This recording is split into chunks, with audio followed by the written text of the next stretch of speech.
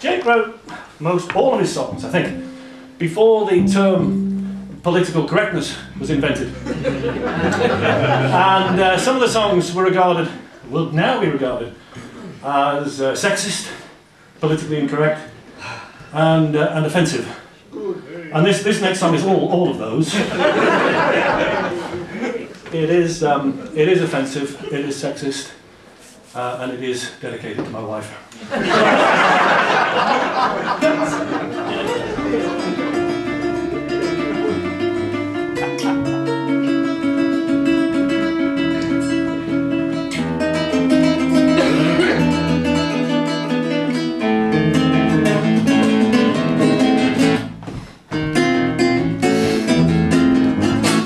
I love a good bum on a woman, it makes my day. To me it is palpable proof of God's existence, a posterior. I also I love breasts and arms and ankles, elbows, knees. It's the tongue, the tongue, the tongue on a woman that spoils the job for me. Please understand, I respect and admire the frailer sex. And I honour them every bit as much as the next. Misogynist, but give some women the ghost of a chance to talk in their upon They'll go on again, on again, on again, on again, on again, on again, on.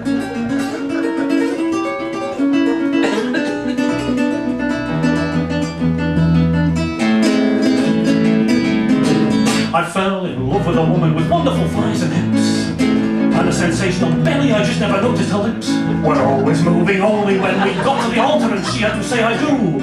But she folded her arms and gathered herself and took in a breath and I knew she could have gone on again, on again, on again till the entire congregation passed out and the vicar passed on and the choir passed through puberty. At the reception I gloomily noticed her family's jubilant mood, the maniacal laughter and the ghastly gratitude.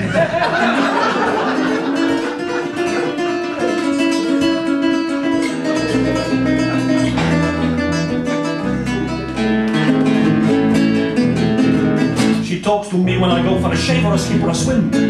She talks to me on a Sunday when I go singing hymns. And drinking heavily when I go mending my chimney pot. She's down there in the street. And at 95 on my motorbike, she's on the pillion seat. Twittering on again, on again, on and again and again. When I'm eating or drinking or reading or thinking or when I'm saying my rosary, she will never stop talking to me. She is one of those women who uh, will never use three or four words when a couple of thousand are easily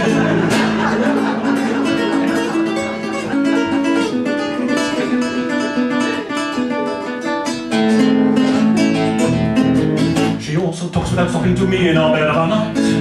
Throughout the sweetest of our intimate delight, she never gives over, not even stopping while we go hammer and tongue towards the peak. Except maybe for a sign and groan and one perfunctory shriek, and then she goes on again, on again, on again, on, and I must assume that she has never noticed that she's just been interrupted, totally unruffled she isn't as far as I can see. I might just as well have been posting a letter or stirring up the tea.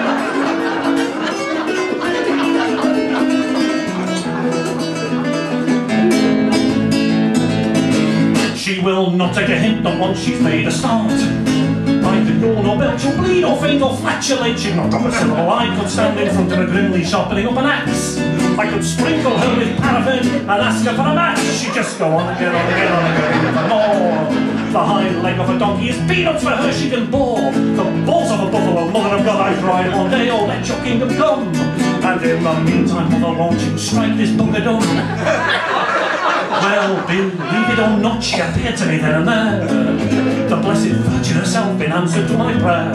Despite the vulgarity, shimmering softly dressed in blue and holding up a hand. I cocked a pious ear as the Mother of God began.